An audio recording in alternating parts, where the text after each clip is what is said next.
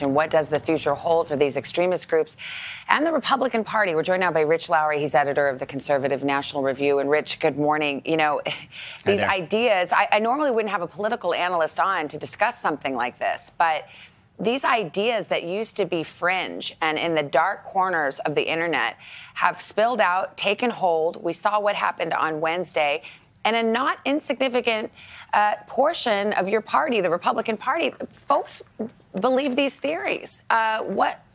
How concerned are you about that? I'm quite concerned. Look, the President of the United States has emboldened these people. He's given them legitimacy. And obviously, the backdrop to the storming of the Capitol is that if you take seriously and believe what the President has been saying about our election, that it was stolen from us by a nefarious and corrupt elite and our democracy no longer exists, that would justify, if it were true, violent revolution. And sadly, a lot of those people who broke into the Capitol believed it quite sincerely. So I think it's incumbent on all Republicans to tell the truth, to denounce the president's lies, to denounce his conduct since the election, and denounce his responsibility for what happened on Wednesday. Well, you make a good point because here you have this young woman, Ashli Babbitt, who, a, a former veteran who served our country, believing it so much that she gave her life. She went to the Capitol.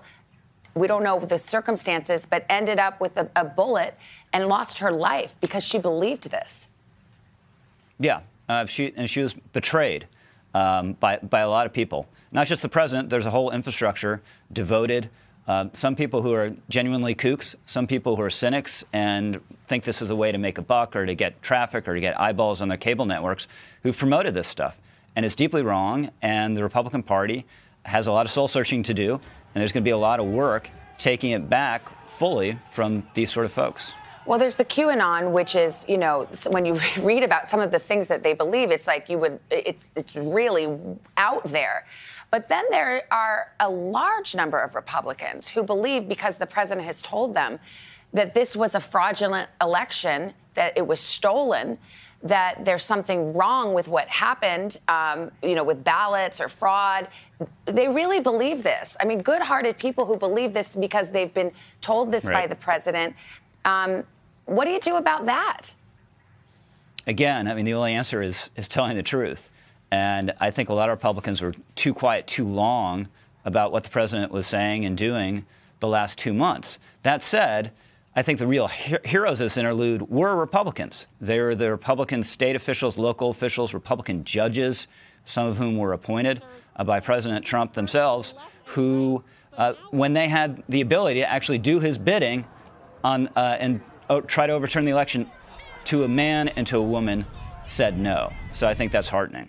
They looked at the evidence, uh, and the president did get his day in court, several days in court. Uh, you know, all the legal remedies were exhausted. So I, I guess that's the, the good news here.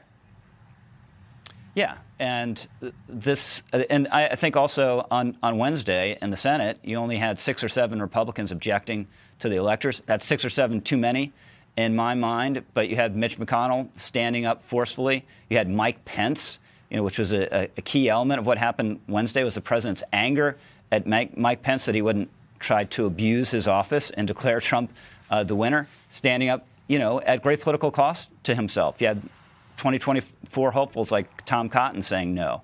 So I think all that's good, but the, the party, there's going to be a long civil war within the party between the Trump forces and the conservatives.